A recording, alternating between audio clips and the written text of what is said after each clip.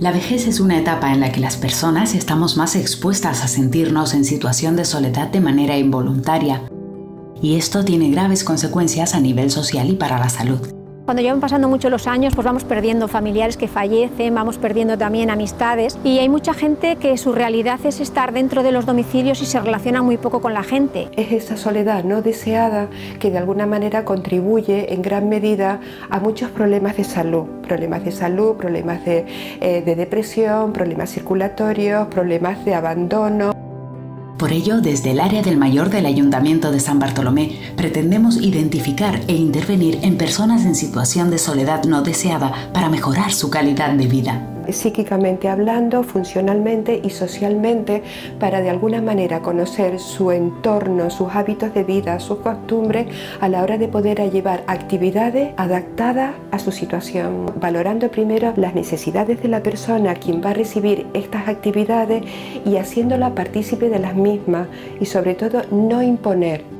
este ambicioso proyecto forjará la conexión entre entidades públicas, privadas, agentes sociales, asociaciones vecinales y distintas ONG que abordarán el problema de la soledad no deseada en los mayores desde una perspectiva asistencial y preventiva. Solamente caminar 20 minutos, media hora diarios, mejora, por ejemplo, un riesgo cardiovascular eh, lo disminuye en un 30%.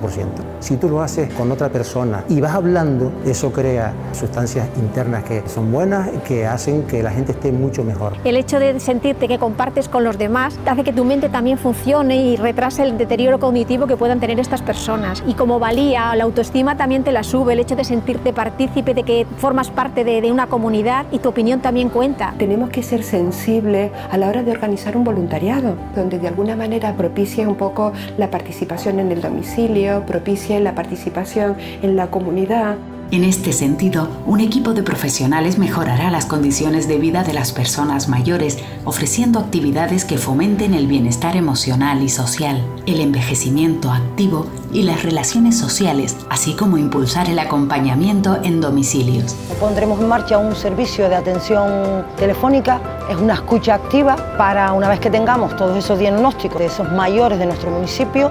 em, abordar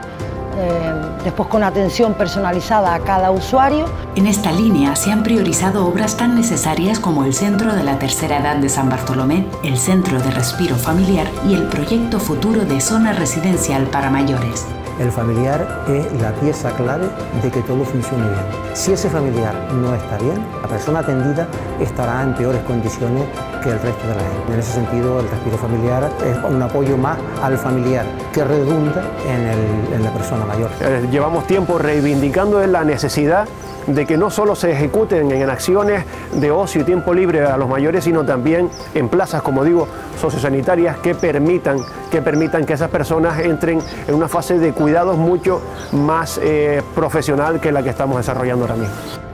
Planes dirigidos a garantizar el bienestar de nuestros mayores.